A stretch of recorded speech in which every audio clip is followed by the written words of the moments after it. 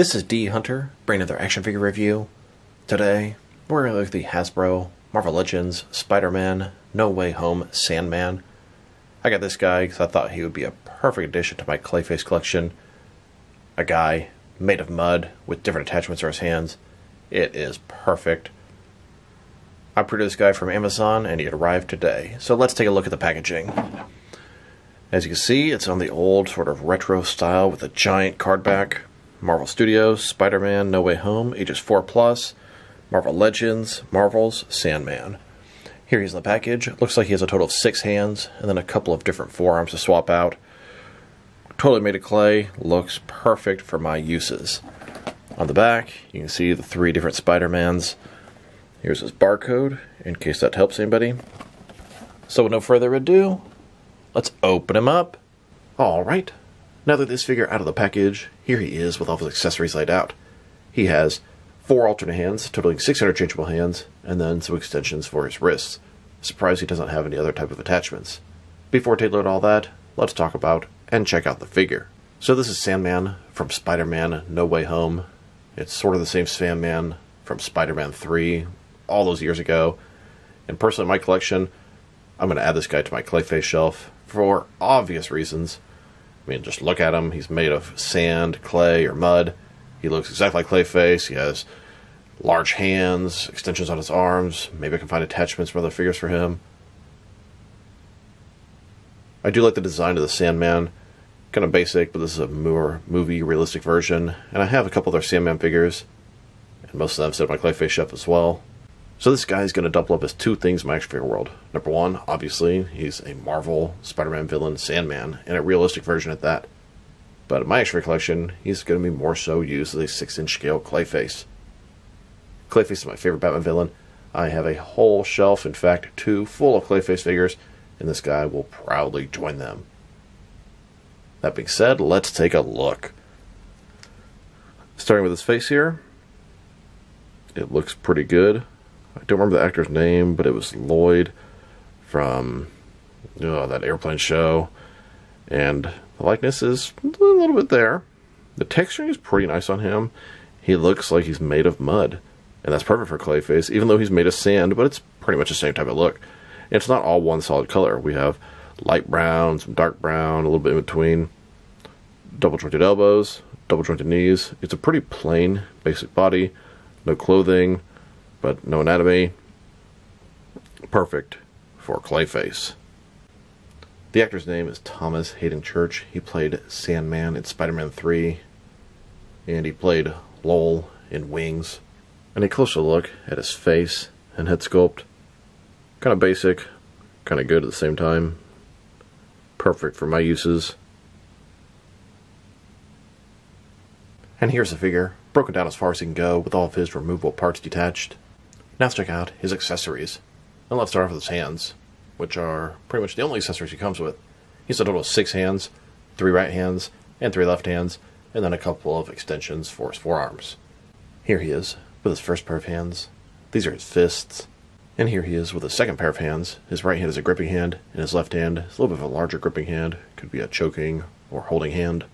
And here's his third pair of hands. These are the large, oversized hands, and they only work with the forearm extensions as you can see, the wrist looks pretty bad right now.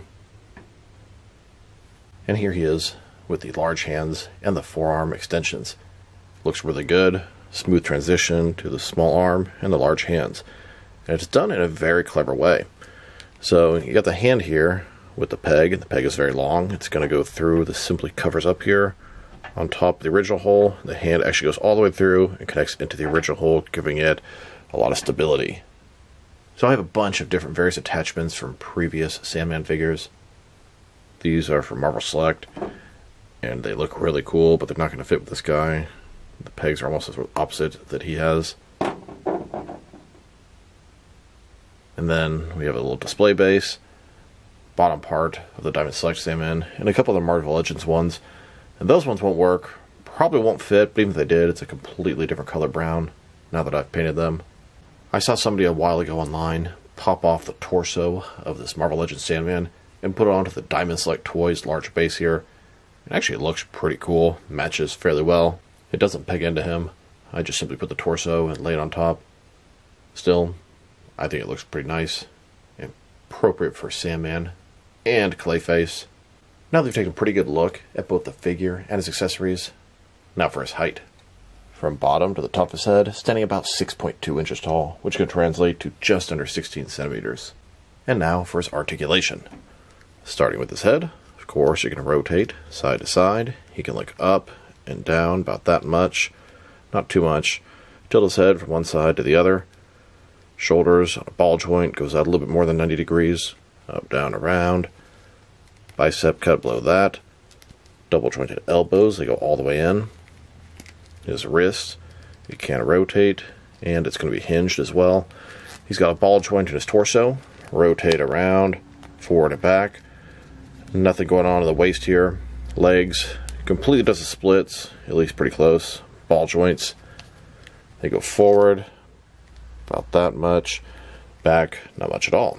He's got the thigh cut, double jointed knees, and then his ankles, forward and back, tilt rock, no real rotation there. Here's a look at the Sandman choking a Tobey Maguire Spider Man. And here's the Sandman choking on Batman. Like I said, 6 inch scale Clayface taking on a 6 inch scale Batman. This is exactly what I got him for. Now let's check them out. Next is some other action figures, starting off with some other Spider Man, Sandman figures. Here he is, next to both the Diamond Select Toys and Hasbro Marvel Legends Sandman. We have the movie version in the middle, then a comic version on the left, and an animated series version on the right. They're both in a sort of regular look, striped shirt. I use these as thugs, gangsters, henchmen, regular civilian type characters in my action figure world. And here, next to an older Marvel Legends Sandman, he has the attachments on his hands. I put a different head, actually a jigsaw head on him, and then painted him all brown, make him a Clayface in my collection. Then, next to a Hasbro Marvel Legends Build-A-Figure Sandman, I repainted this guy, sculpted a Clayface head on top of him, and bam, making him yet another Clayface in my collection. Now let's check him out, next to some actual Clayface figures. Here's the Hasbro movie Sandman, next to a couple McFarlane DC Multiverse Mega Figure Clayface figures. The one on the left came with the Batwoman Batman Clayface 3 pack, and the one on the right is a single Mega figure. And here he is, next to a couple of DC Direct and DC Collectibles Clayface figures. Then, next to a bunch of different Mattel Clayface figures. And now, with some Kenner Clayface figures. And here, next to a bunch of other smaller Clayface figures. And these were perfect because Clayface can pretty much be any size or shape he wants to be. These are Imaginext, Super Friends, Funko Pops, Spin Masters, and Minimates. In addition to these Hasbro Marvel Legends Sandman customs I turned into Clayface, I have even more custom Clayface figures. Here's a couple more custom Clayface figures made from his Marvel figures. On the left, we have a Clayface made from David Banner from the Incredible Hulk movie, and on the right, a Clayface made from The Thing. Here he is, next to a couple of crappier custom Clayface figures. I got these guys on eBay a long time ago, and I've kept them on my Clayface shelf ever since. And here he is, next to some other custom Clayface figures that I made. On the far left, we have the original first Clayface, Basil Karlo, and this is him before he was a clay monster, back when he was simply an actor that wore a clay mask and murdered people. Second one here is Sandman from the Spider-Man movie. This one can be Clayface 2, Matt Hagen. Then the third one is Preston Payne. He's the third Clayface, and he wears a protective suit to protect others from him because everything he touches melts and burns. And on the far right, the fourth Clayface, Sandra Fuller, Lady Clay. Here's a shot of my entire Clayface collection. One more to add to the mix. And here he is, next to Mattel DC Universe Classics Mud Splattered Batman. A great guy to fight against a Sandman, or rather Clayface figure. Now let's check him out, next to some other Hasbro Marvel Legends. Here he is with the other Spider Man No Way Home figures that I got. Matt Murdock, and then Mary Jane. Those two can be civilians in my figure world. And this guy, Clayface. I didn't bother getting the three Spider Man figures, even though they appear fantastic. I just don't really need them in my collection. Did consider getting them just for the unmasked head to make suited versions of those Peter Parkers. But like I said, unnecessary. And here he is, next to an older Toy Biz Spider Man movie Tobey Maguire figure. It's the only Tobey Maguire Spider Man figure that I have. He's super articulated, a little bit dated, but is appropriate next to the Sandman. And let's keep checking him out next to some recently released Hasbro Marvel Legends. Here he is, next to a couple more Spider Man villains. These are from the recent retro card wave.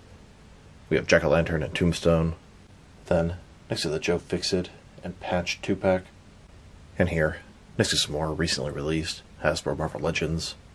Now let's check him out next to some action figures from different various companies so we can see how he fits in both scale and style wise, in case you want to know which lines you can mix him with. Since he's a Hasbro Marvel Legends figure, they're typically the 6 inch scale. I'm going to start my comparisons with some of these smaller action figure lines I collect and work my way larger.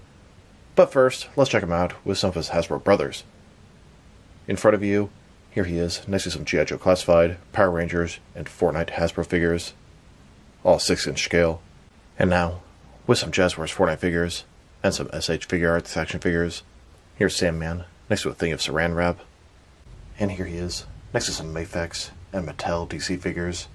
Then, with both some Jazzwares and Mattel wrestling figures, and now, with some Mezco and NECA figures. Next, with some DC Direct and McFarlane toys. And finally, with some DST or Diamond Select toys, and some Jakks Pacific wrestling figures. So overall, I think he's a really cool figure.